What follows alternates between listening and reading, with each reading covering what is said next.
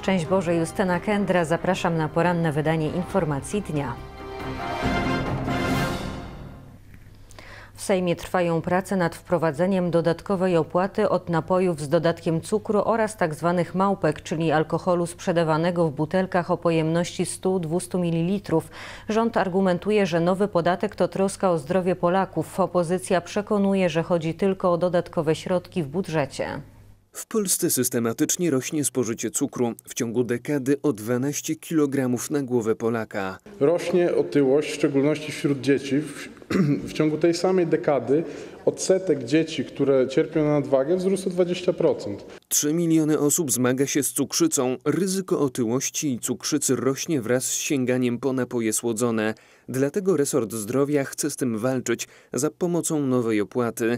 Podatek został podzielony na dwie części. Opłata stała dotyczy każdego napoju z dodatkiem cukru, ale wtedy, gdy ten cukier jest sztucznie dodawany. Jest też opłata zmienna, zależna od zawartości cukru, gdzie za każdy gram cukru powyżej 5 gram na 100 ml y, dodawana jest niewielka opłata od każdego litra napoju. W górę pójdą też ceny tzw. Tak małpek, czyli alkoholu sprzedawanego w butelkach o pojemności 100 lub 200 ml.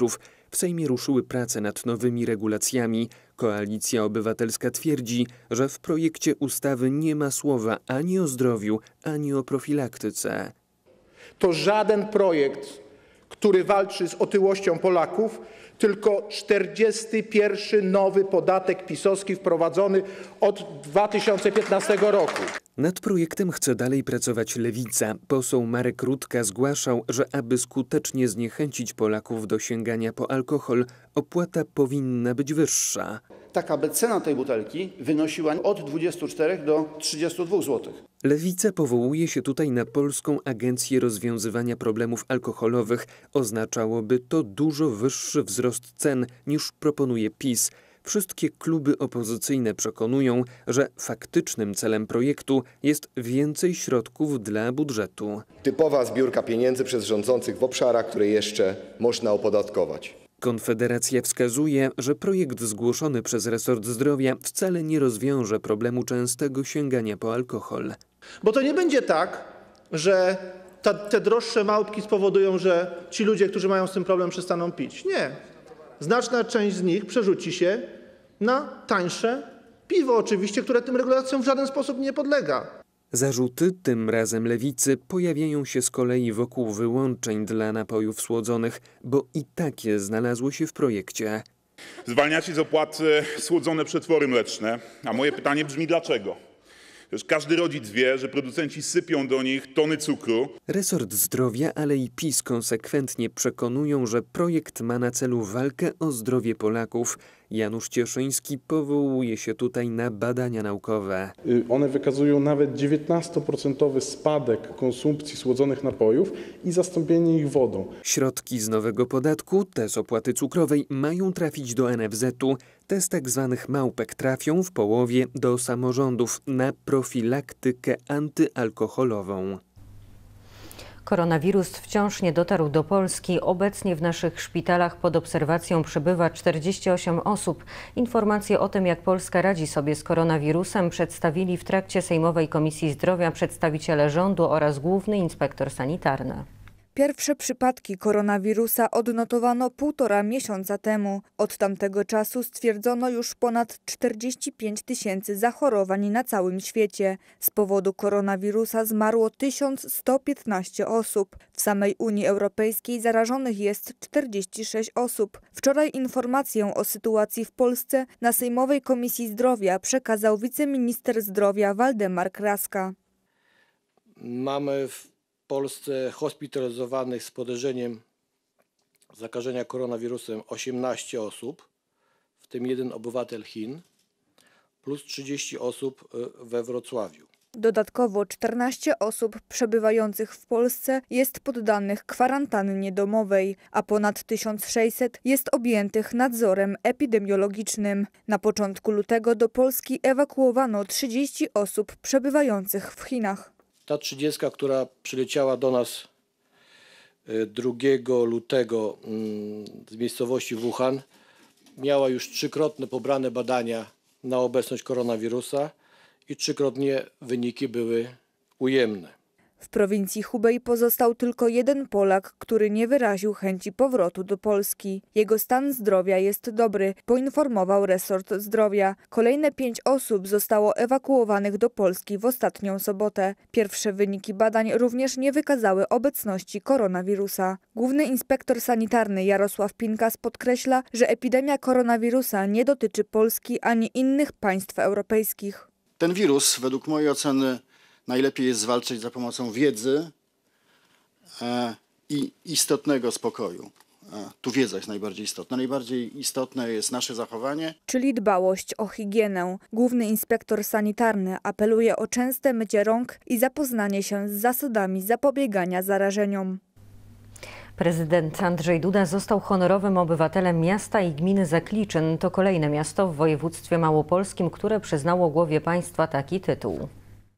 Tytuł honorowego obywatela Zakliczyna to gest przyjęcia do wspólnoty, mówił w trakcie wczorajszej uroczystości prezydent Andrzej Duda. Ogromnie za to dziękuję, bo uważam, że takie gesty to jest właśnie wsparcie, które pokazuje tak, my cieszymy się z tego, że pan tą prezydenturę właśnie w taki sposób zrealizował, że pan był rzeczywiście dostępny. Bo na tę dostępność Andrzej Duda kładł akcent podczas całej swojej kadencji.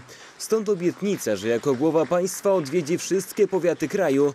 I tak też zrobił, bo jak zaznaczył, tak powinna być realizowana prezydentura. Chociaż jesteśmy dużym narodem, dużym społeczeństwem, 38 milionów ludzi to każdy zasługuje na zainteresowanie i każdy zasługuje na to, żeby oddać mu honor i żeby podkreślić jego godność osobistą, niezależnie od tego, jakie ma poglądy. Prezydent podkreślił również, jak ważne w skali całego kraju są mniejsze miejscowości. W nich też, a może przede wszystkim tam właśnie wykuwa się to, co najważniejsze dla naszej tożsamości, dla, dla naszego trwania, dla naszej tej właśnie niezłomności, która zawsze była w Polakach, że byli w stanie przetrwać najtrudniejsze czasy i zwyciężyć. To nie pierwsza miejscowość w województwie małopolskim, która przyznała prezydentowi tytuł honorowego obywatela. Wcześniej zrobiły to Nowy Sącz, Wolbrom i Bochnia. To podkreśla, że ta prezydentura jest realizowana właśnie w taki sposób, jaki jak ja chciałem, żeby była realizowana, a przede wszystkim jak ja chciałem, żeby była odbierana. Honorowe obywatelstwo samorząd Zakliczyna nadaje od 1997 roku. Jako pierwszy otrzymał je papież święty Jan Paweł II, który od kilku lat jest patronem miasta i gminy. Rosja po raz kolejny próbuje fałszować historię i twierdzi, że, tu cytat, to Armia Czerwona wyzwalała Warszawę. Działania Kremla to odpowiedź na list polskiego ambasadora w Niemczech.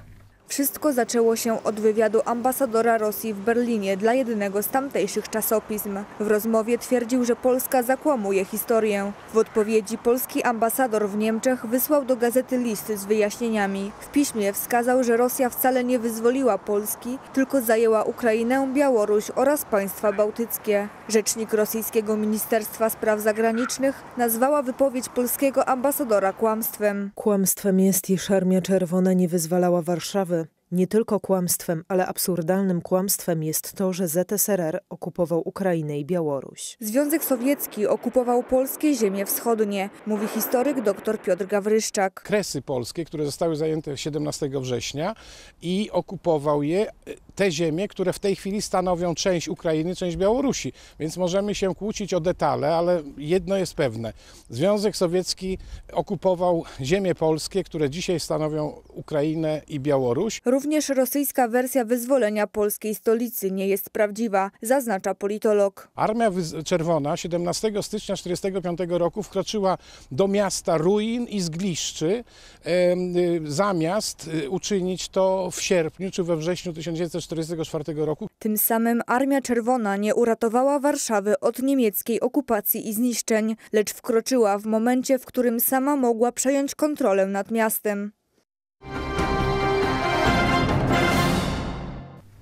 W Brukseli trwa spotkanie ministrów obrony państw NATO. Polskę reprezentuje minister Mariusz Błaszczak. Politycy zgodzili się na rozszerzenie misji szkoleniowej sojuszu w Iraku, ogłosił sekretarz generalny NATO Jens Stoltenberg.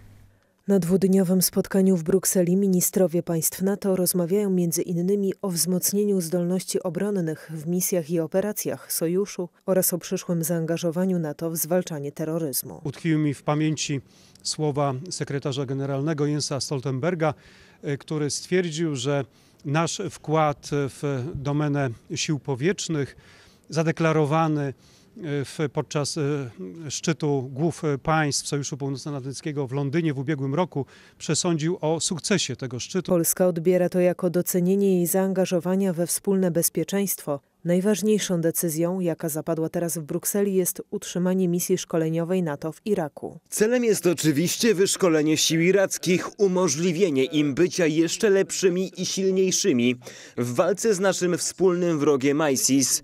To leży w ich interesie i w naszym. Dążymy do wspólnego celu, aby ISIS nigdy nie powrócił. Jens Stoltenberg poinformował, że NATO przejmie część działań szkoleniowych prowadzonych przez koalicję kierowaną przez USA przeciwko tzw. Państwu islamskiemu, a to oznacza, że decyzja nie wymaga większej obecności żołnierzy w Iraku. Byliśmy zgodni y, co do tego, że misja zostanie utrzymana. W myśl decyzji w Iraku pozostaną polscy żołnierze. Okazujemy solidarność y, naszym sojusznikom, gdyż oczekujemy solidarności od naszych sojuszników w sytuacji y, kryzysowej. Na marginesie spotkania w Brukseli minister Mariusz Błaszczak spotkał się m.in. z szefem Pentagonu Markiem Esperem. Politycy poruszyli temat ćwiczeń Defender 2020. Jak podkreślał polski minister, ich charakter jest przełomowy. Dotyczy sprawdzenia, przećwiczenia zdolności przerzutu wojsk sojuszniczych, e, wojsk amerykańskich ze Stanów Zjednoczonych i później wojsk sojuszniczych e, przez Polskę do państw bałtyckich. Relacje ze spotkania z polskim ministrem obrony na Twitterze zamieścił Mark Esper. Wyraziłem uznanie dla wieloletniej polsko-amerykańskiej współpracy obronnej, która ma zasadnicze znaczenie dla odstraszania, wzmocnienia sojuszu i rozwiązywania regionalnych problemów bezpieczeństwa napisał szef Pentagonu. W Brukseli Mariusz Błaszczak rozmawiał także m.in. z ministrami obrony Ukrainy, Chorwacji, Rumunii i Włoch. Odbyło się także spotkanie w formacie Grupy Wyszehradzkiej. I w tym wydaniu informacji dnia to już wszystko. Więcej o godzinie 10. Do zobaczenia. Z Panem Bogiem.